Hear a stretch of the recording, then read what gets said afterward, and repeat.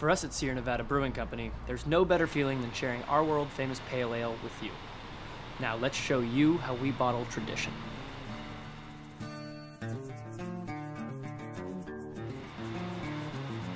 This is the bottle shop.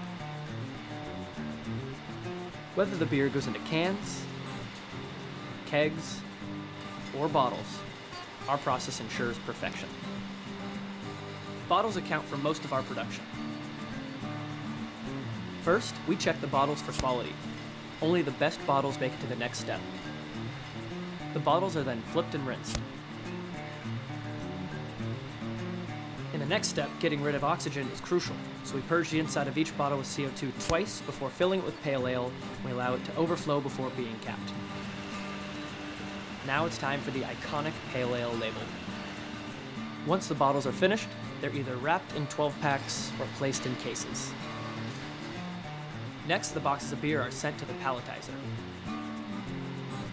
This machine stacks 70 cases onto a pallet, which are then wrapped up and sent into cold storage, where they'll be loaded onto trucks and delivered to a bar or store near you.